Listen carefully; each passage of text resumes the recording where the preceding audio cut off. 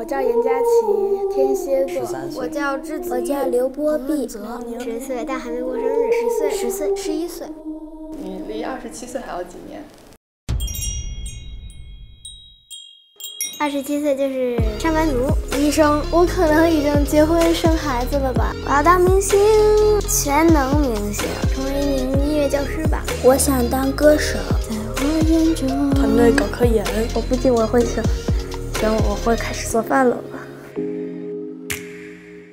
小的时候有很多的梦想，小时候想当警察、漫画家吧，小时候喜欢看漫画，然后后来又想想踢足球，然后都没有实现。我想去当一个跳水的运动员，我想当一个飞行员，这都是我小时候的梦想。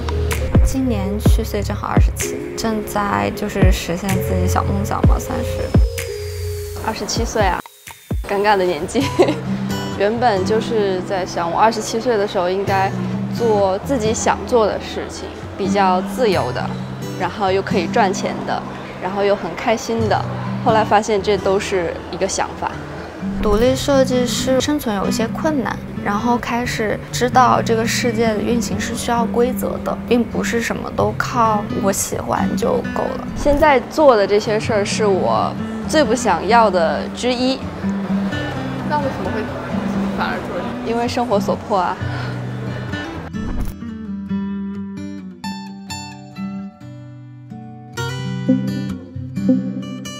我觉得我二十七岁的时候天真、挺浪漫，就是很很幸福的那个阶段。那那个那个时候真的是那样。二十七岁的时候刚刚有第一个孩子，刚开始入这一行吧，之前私企就是每天晃来晃去的。在之前可能整个人都会处于一个比较乌托邦的状态。我重新在思考一个团队应该怎么运营。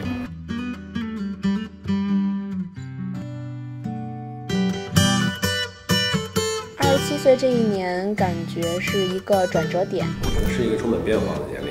有工作的变动，工作能力的提升，对工作或者是对未来或者对前途的这个重新定位，有一个比较好的时间点。可能就是又成长上了一个台阶。本当に27がすごい私転機で大変だけどすごい頑張りがいがある年齢だと思います。你离二十七岁还有还差几岁？